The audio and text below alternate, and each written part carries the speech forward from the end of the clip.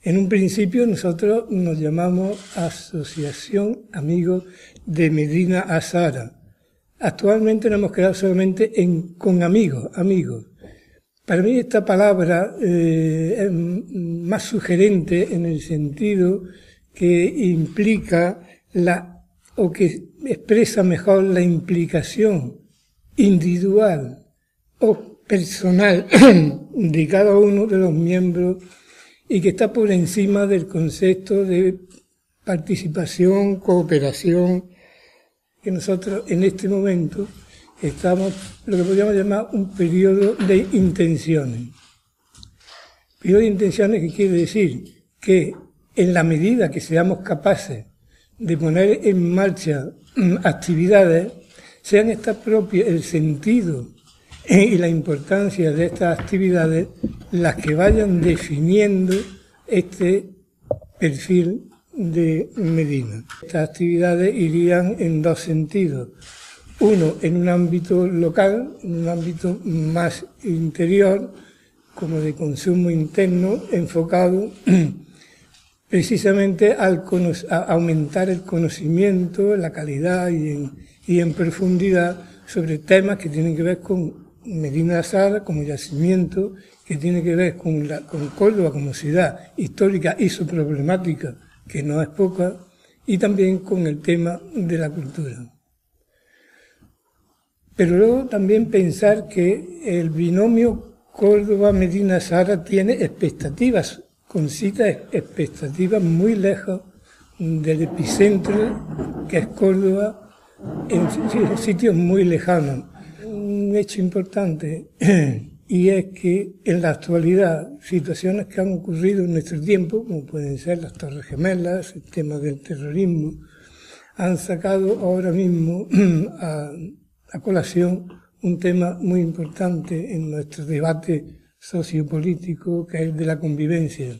Entonces, ¿qué pasa? Que cosas que ocurrieron en el siglo X o situaciones históricas están siendo tomando, y sobre todo las que ocurrieron en Córdoba, Medina, Sahara, siglo X, IX o siglo XI, no importa. También sabemos, y esto ya sería redundar en, en una visión Mm, histórica la importancia que tuvo el siglo X Medina, Córdoba, en la base, como base de la cultura occidental, de nuestra cultura actual.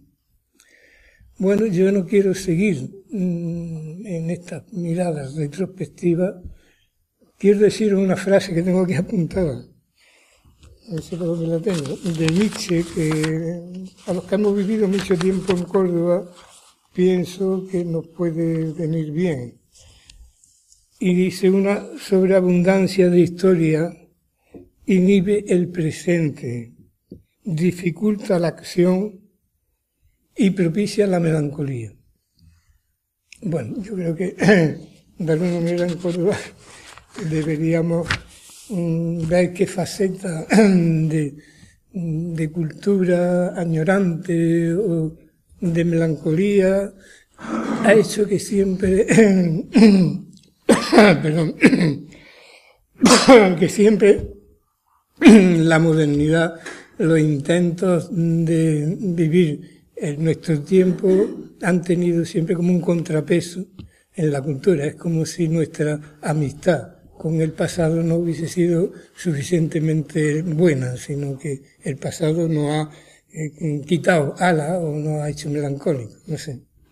Bueno, quisiera terminar para deciros que esta es una asociación civil que como tal asociación tiene una formación muy aleatoria, estamos gente de muchos sitios, venimos gente diferente, lo cual en cierta forma es una garantía para el no partidismo. Y también me gustaría, esto ya a título personal, remarcar el concepto de la amistad. Somos amigos, amigos, pero la amistad puede tener un sentido muy profundo. Si queréis me voy a, a, unos sitios muy lejanos, como Pitágoras decía, los amigos lo comparten todo. O el amigo es aquel que crea las condiciones vitales para el pensar. O decir, la solidaridad es el hacer aún sin saber todo. En fin, creo que la palabra amigo, hacer asociación de amigos, estar en Córdoba, estar en este momento aquí puede ser algo importante que nos sirva para ir planteando temas que tienen que ver con el pasado, pero sobre todo con el futuro y con un andar un poco más diligente.